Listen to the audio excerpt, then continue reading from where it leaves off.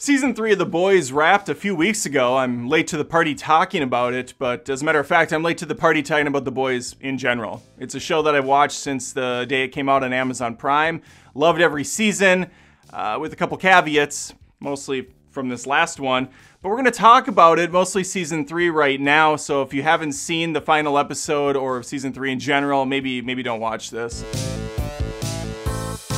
For the one of you that doesn't know, The Boys is a hit show on Amazon Prime. Yes, they have a, a decent show. It's amazing. Actually, Invincible's a fantastic one as well. Both superhero, anti-hero type of shows where they flip the script, they're super hard R, there's a lot of blood and guts and nudity and swearing and everything I love in this world. They both also pose the same question. What would happen in a real world scenario if there were people with superpowers like Superman? Would he be a goody two shoes or would he most likely be an asshole? The Boys goes for the latter approach right out of the gate. The show's main protagonist is Hughie Campbell, played by Dennis Quaid. Nope, I'm sorry. His son, Jack Quaid, who oftentimes looks identical to his father. Good for you for forging your own path in Hollywood. It's so refreshing to see actors make it on their own and definitely not because their parents were in the industry. I'm not bitter. That set aside, he plays a decent, if not outright annoying and frustrating at times, lead character here. The real star of the show, though, is Billy Butcher, played by the always fantastic Karl Urban. These two protagonists will often be at odds together, butting heads constantly, but they can't work. They can't really survive without one another. Well, that's. Eh, Billy could. Hughie, Hughie's pretty much useless trash without the Butcher. Butcher and his ragtag crew decide to let baby Huey join up with them after his girlfriend literally dies in his arms tonight. Must have been some kind of kiss. Nah, must have been some kind of flash. One of the opening moments in this show really sets the table for everything that's to come. All the horrifically gory goodness we're about to see unfold as A Train, Flash type character, blows through the body of a girlfriend of Hughie's. It, it's so awesome to see it so out of nowhere. I, I, mean, I knew nothing about the boys going in. I know it's based on, a, I believe, a series of comics, which aren't even as long as the show has run now, which is always troubling. Game of Thrones. but it's done a pretty decent job maintaining the quality over the years. That is, until this last season, specifically the final episode that I thought not only dropped the ball for that specific episode, but of the entire season. It rendered the whole thing absolutely useless. For the humans, Billy Butcher's easily the highlight. Mother's Milk is fine, Frenchie can jump off a fucking cliff. I don't want to see any more Frenchie side stories. Okay, I'm done with you, dude. And stop pairing him with Kimiko to make him seem interesting. She's a treasure. Get her away from him. Anyway, the highlight of the superheroes is easily Homelander, who is basically evil Superman. The guy is a beast. He has tons of issues going on, especially when it comes to the mother. Uh, mommy issues, to say the least. And while Elizabeth Shue does a great job stepping in and playing that role, at least to a certain extent, uh, that well runs dry.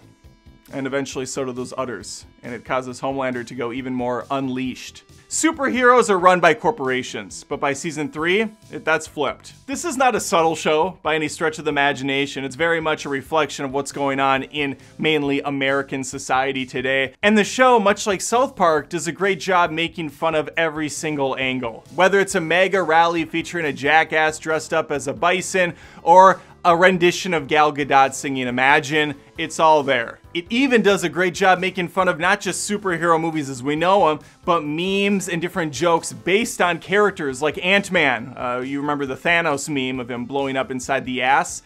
Yeah, they do something even more vulgar than that in uh, season three. You got superhero Nazis, fish porn, superhero opiates, and a great varied collection of superheroes with tons of baggage. What made season 1 work so well is we take it from the vantage point of the little guy, looking up at the ivory tower of these superheroes that are larger than life. They can stop planes, or in some instances choose not to. They have superhuman speed, they have impenetrable skin, and yet this crack squad of douchebags that barely can survive their own lives somehow manages to get underneath the skin of Homelander and his company. They even manage to get a supervillain I mean, they're superheroes, but they're really bad guys, and kill the asshole. They're strategically picking them off, choosing their battlegrounds, and doing what they can to throw a wrench in the system. I kind of looked at them as a grungier version of the Ghostbusters, getting stuff done where they could, but they're by no means experts at anything. They're, they're kind of making it up as they go along. They also had a sliver of a moral compass outside of Butcher, but by season 3, I just didn't even know who I was supposed to like anymore. It kind of had the Game of Thrones thing going on where I'm just like, who's good? why do I care if anybody dies here? They're all garbage. Almost all of them. And that's really where season 3 falls apart for me, where the previous season, and especially the first, had the guys succeed at doing something, anything. By season 3, they failed so many times, just a series of comical follies, that I'm not even sure, like, what are they doing? Do they have jobs? How are they getting funded? The government's not helping them anymore. I mean, I have to get my ass up and put in some work if I want to pay my bills. These guys seem to have really nothing to worry about outside of just surviving the day and not getting their heads blown off, which is a problem. It's definitely a problem. But then they introduce another layer to the show. Now we have an anti-Captain America type character, Soldier Boy, who they bring out of like a cryogenic freeze to kill Homelander. And by the end of the season, they get him in that exact position to do such a thing and drop the fucking ball for no reason. The last episode was a disaster of, of just illogical situations, and the writing staff seems to have ridden them into a corner where they didn't really know a good way to get out of it, so they're like, eh. Soldier Boy's up in the tower. He can easily destroy Homelander by doing his little orgasm laser beam, which reminded me of the, the Herogasm episode. Funny stuff, good stuff. Anyway, he doesn't do it because Butcher's afraid he's gonna kill the kid. Well, the little beam thing that he does takes away the superpowers. I'm pretty sure it doesn't kill the person, and his son is a supe too. So it wouldn't have killed him, it just would have taken away the powers. So that excuse was just ridiculous. Also, Butcher's supposed to be an asshole that doesn't really care about anything. Even the kid would be collateral damage in his eyes, up until this episode at least. Now it's suddenly like off limits. Then we have the Wonder Woman thing where she throws him out the window. I mean, it was just so, so badly executed. And again, I just wonder what was the point of any of it other than to pad out and slow burn more seasons of this show. It would have been far more fascinating had Homelander lost his abilities and we would have had to deal with him as a human being, not able to fly around, not move vehicles, but still being a deadly force because he could rile up this army, this cult following that he's amassed so far. But instead, it's just one more layer. There's a head popping lady, we have Captain America in the weeds. Black Noir just unceremoniously died. Uh, after a really weird kind of premise where he's seeing cartoon creatures because half of his brain is gone. I don't know. To me, season three was just kind of a hodgepodge of ideas that never really congealed into a great finale. And because of that, the entire season was pretty much a wash. Outside of the fact that now we have a V that can be induced and possibly kill you. We know Butcher doesn't have a lot longer to live. We'll see how that plays out. But honestly, I don't really care that much, which is a bummer. And for the love of God, stop the Frenchie side stories. I don't care. I just don't. Maybe people do. Frenchie fans, comment below. And I really do want to hear from you guys on this one. I know I, I was like talking fast and loose, skipping a ton of key points, but that that's not really what this video is about. It was just about to say, hey, I do really like The Boys. It's a solid show. It's got lots of creative ideas. I like how it flipped the whole superhero thing on its head, even though superheroes are really getting played out it's still an enjoyable watch with interesting characters. However, this season really fell apart at the end. Doesn't mean I'm done with it.